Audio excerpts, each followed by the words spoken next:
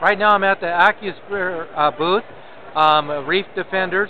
Uh, they've got a new kind of spear, and this is for just getting rid of lionfish that are an invasive species.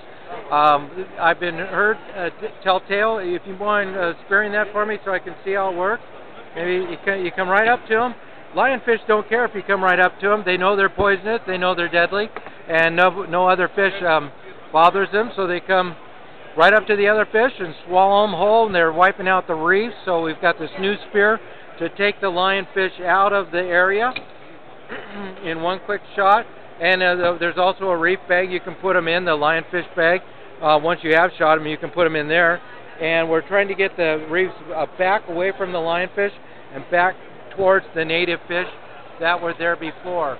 And with 20, uh, some 20,000 eggs a day um, over a couple, a four-day period, um, they can uh, really increase their density on a reef, wiping out the entire species, other species on the reef. Thank you, gentlemen. I appreciate your time.